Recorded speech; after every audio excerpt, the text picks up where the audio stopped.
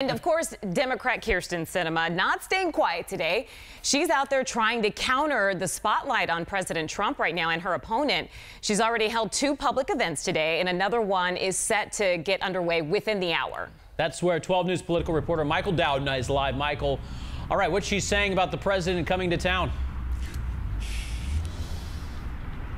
Well, she's saying she's staying maintained and laser focused on her campaign visit. And while the president may be changing plans around the valley, it's not changing any plans from Kyrsten Sinema. If anything, it's actually making her busier today. In fact, like you mentioned, she's had three events scheduled today, and that's a little bit more active than she normally is. She actually started her day early with veterans who support her, basically doing a volunteer effort at a food bank. Then she stopped by volunteers who are helping get out the vote, and she'll be stopping by here a little bit later to do this exact same thing. Now, she knows this is a very tight race where every single vote counts, so we asked her that if she's concerned at all about the president campaigning for her opponent, and this is what she said. Well, our reaction is to keep doing the work that we do.